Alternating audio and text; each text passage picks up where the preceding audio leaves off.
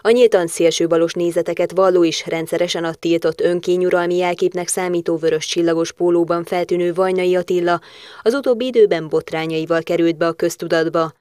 A munkáspárt 2006 első embere és Karácsony Gergely közötti szövetséget hirdető közleményben ez áll, idézem, a nacionalista idegen ellenes indulatok felkorbácsolása azt a célt szolgálja, hogy az osztályelnyomást leplezze, kiátszva egymás ellen az elnyomottakat. A szélsővalós irányba történő elmozdulást Kertészné Kormos Noémi pártbelügynek tekinti. Az, hogy a Demokratikus Koalíció és az MSP együttműködési megállapotást kötött, ez nem azt jelenti, hogy a két párt elveszíteni a szuverenitását.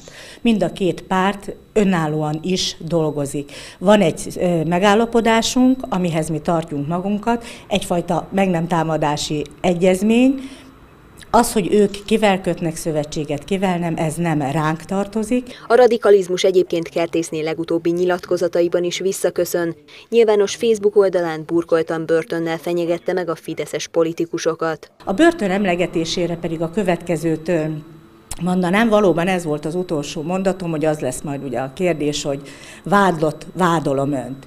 Igen, de jogi, tehát jogállamban élünk, és ez megfelelő keretek között fog elhangozni. Kertészné Kormos Noémi azt tartja a legfontosabbnak, hogy a 106 egyéni körzetben egy demokratikus ellenzéki jelölt legyen egy fideszessel szemben, ez pedig megvalósulni látszik.